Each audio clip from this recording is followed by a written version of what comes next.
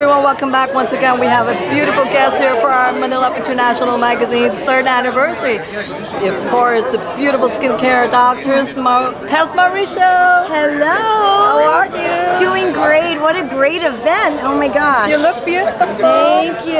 What are you wearing tonight? Well, I'm actually wearing a gift that my patient and friend Paula Abdul gave me. So this is one of her actual outfits. So it's really amazing because we are kind of like body doubles.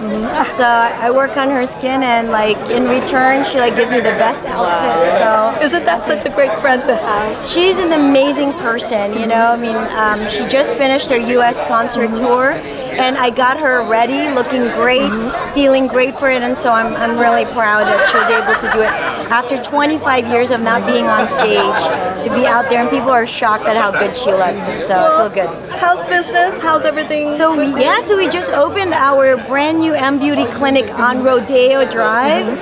Um, so come visit us there. We're at the Rodeo Collection.